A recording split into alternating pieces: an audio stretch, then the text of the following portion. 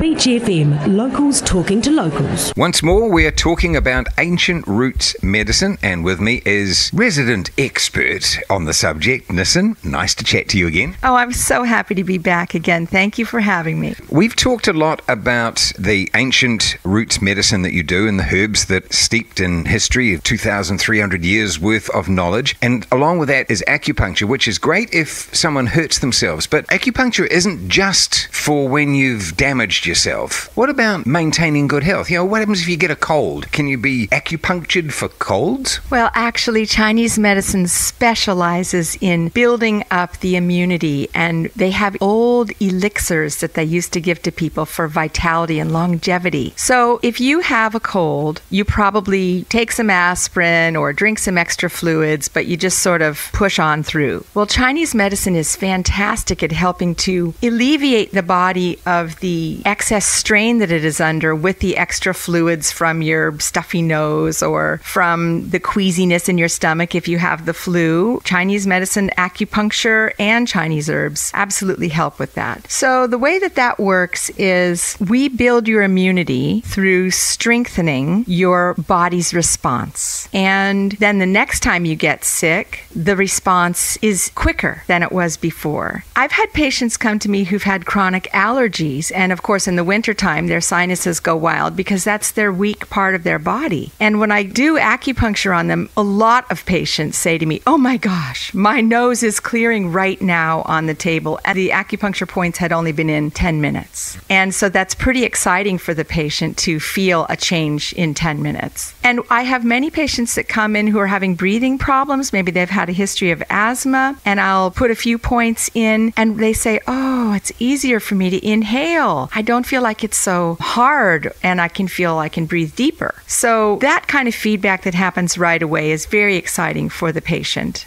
Other things that beset us, there are all sorts of things like chickenpox and mumps, and another one that we possibly have touched on before, and that's menopause, which is something that women really do find hideously hard to work through. Can you help them with that too? Yes, menopause is one of those areas of medicine that I really like to work with because the woman will feel quite out of sorts because her hormones are changing so much. Her sleep could be funky, her digestion might not be working well, she could have buzzing in her ears and blurry vision, and all all of those are things that we balance the kidneys and the liver in Chinese medicine, calm the heart, and the woman will feel better. And so that's a very old form of practice to help women go through those transitions. Because remember, the women in the village have to be sturdy because they take care of everyone else. So the Chinese got onto that pretty quickly. So if people are feeling out of sorts, they might have a cold, or maybe like my son, he's 16, he's really worried that he hasn't had a chicken pox or he hasn't had the chicken pox vaccination. Is there something that can be done with regard to that? You know, that's a really great question. Most people don't know this, but cold sores, canker sores, chicken pox, all are in the same family of viruses that the herpes virus is in. And when I have patients come with shingles, I do acupuncture on them and they get a lot of relief right away. And when I give them Chinese herbs or maybe some seaweed that they need to take, it makes the virus which lives in the nerves get weaker so it can't reproduce itself. Now, with chicken pox,